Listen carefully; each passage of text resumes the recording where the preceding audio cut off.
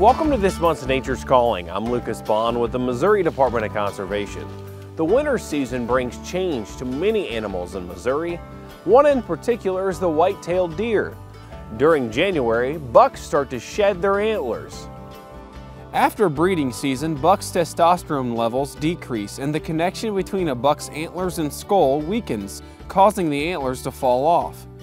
Then bucks start the regrowth process all over again.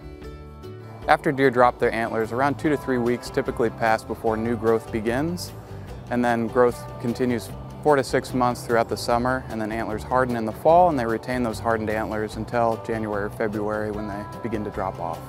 Most all bucks will have shed their antlers by March, making February the best month to get outdoors and do some shed hunting.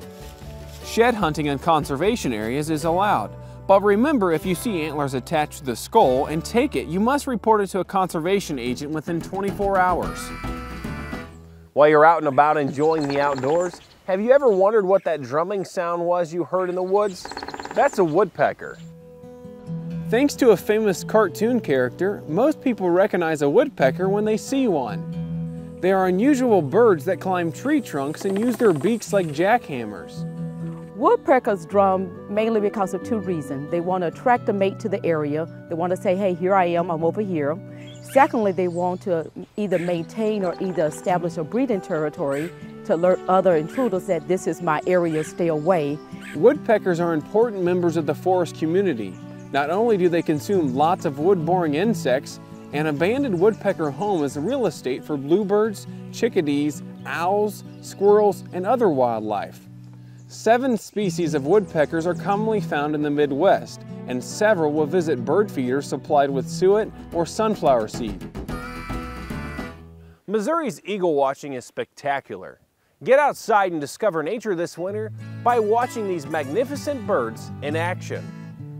From December through February, you will find some of the best eagle watching in the country right here in Missouri. Due to Missouri's big rivers, many lakes, and abundant wetlands, the Show Me State attracts thousands of these great birds every year. Eagles take up residence wherever they find open water and plenty of food. More than 2,000 bald eagles are typically reported here in the state during the winter.